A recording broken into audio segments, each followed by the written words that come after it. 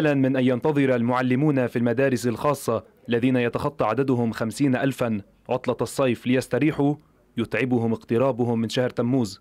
والسبب المادة التاسعة والعشرون من قانون المعلمين في المدارس الخاصة. كل سنة آه، نحن معرضين عندنا فزع انه ننشحت ولكن هاي السنة أول مرة بتصير معنا وصير الموس لرأسي أنا.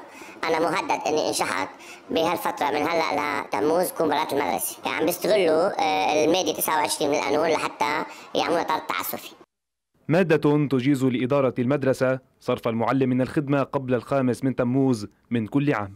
هو ذاته القانون يعني 1956 حدد كيف ممكن يكون في صرف حسب كفاءة الأستاذ. الشيء اللي ما عم بيصير يصرفوا بدون ما يحفظوا كرامة المعلمة ولا كرامة الأستاذ. عم يصرفوا بدون أي سبب لا تأديبي ولا أكاديمي ولا بيتعلق بالرسالة اللي عم يعملوها. تنبيه شفهي لتنبيه خطي لانذار لحسم من الراتب. يعني لا إذا بدك حسم من الراتب صح أو حسم مثلا راتب شهر كامل وصولا إلى الصرف مع تعويض أو صرف بلا تعويض.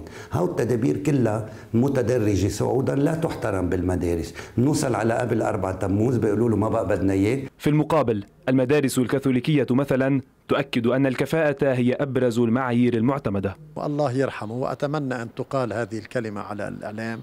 الله يرحمه الأستاذ إيميل الرامي اللي كان مدير عام وزارة التربية.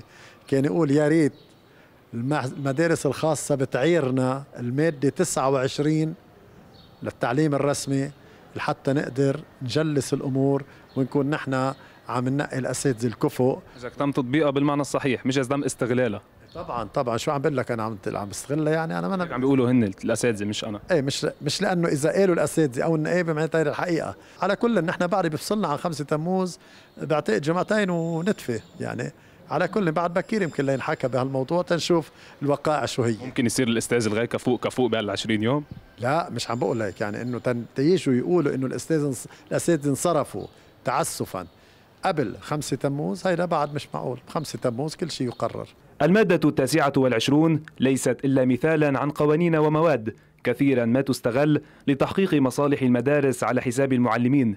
مادة تخيف المعلمين أكثر مما تخيف المواد التعليمية التلاميذ.